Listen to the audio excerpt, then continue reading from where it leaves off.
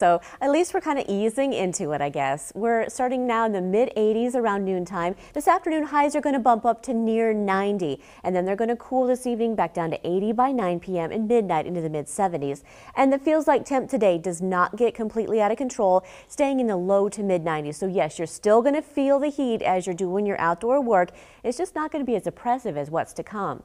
Right now, the hottest heat index is across northwest Iowa. Spencer feeling like 97. It feels like 90 right now in Carroll, but we've got some clouds coming in across parts of the state that are kind of keeping things a little more comfortable. Plus, the wind is helping out too. It's coming in from the south, a little gusty this midday, about 15 to 20 miles per hour, and at times just a little bit higher than that, but that's also going to be pumping in the moisture.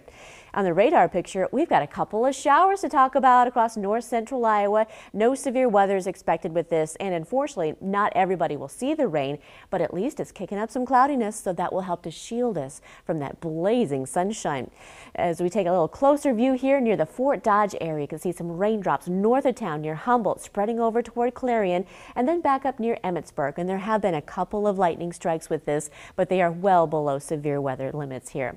As we look around the Midwest, West Look at what's happening in St. Louis. This is the remnants of Barry here, already bringing them some rain. And notice the movement is up to the north. And if it continues on the same path, it's going to be brushing southern and southeast Iowa with at least a few clouds, if not a few showers. And those orange shaded counties across northwest Iowa, that's a heat advisory. That's where the worst conditions will be felt today. Taking you hour by hour by 6 p.m., we're going to be seeing a few of those clouds from Barry ourselves here in central Iowa, possibly a couple of sprinkles or brief shower across southeast Iowa. We got some changes coming. Overnight tonight and tomorrow morning, a complex of storms in Minnesota may brush mainly northern Iowa with a chance for rain. Tuesday morning, here comes a few more showers entering northwest Iowa near the Fort Dodge area, back up through Storm Lake and Emmetsburg. Those kind of fizzle out as the morning goes along. But as we head into the afternoon, redevelopment is expected. Again, better chances for rain tomorrow, 5 p.m. up across the northern counties.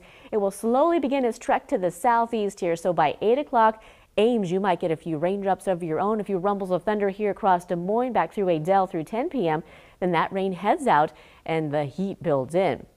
Rain trackers showing the rainfall totals. This takes us through Wednesday here possibly over a half inch across central Iowa. Better chances for heavier rain up to the north. We're going to get brushed by those repeated rounds here, so over an inch to two inches. Southern and southwest Iowa pretty much miss out on the rain chances the next couple of days.